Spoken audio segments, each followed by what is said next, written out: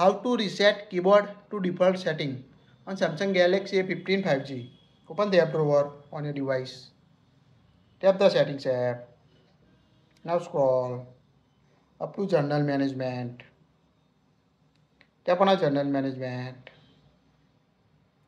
Tap on a keyboard list and default. Here you can see Samsung keyboard as the default keyboard. Tap on a Samsung keyboard. Now scroll down. At the bottom, you find the reset to default setting option for a keyboard. Tap on it. Now you can see reset keyboard setting option at the top. Tap on it. Now you can see pop-up reset keyboard settings. Downloaded language won't be deleted from your device. All other keyboard setting reset to your factory default. Tap on reset. Now reset your Samsung keyboard to default settings. To check it, just tap on the search bar or open keyboard. You can see the default keyboard.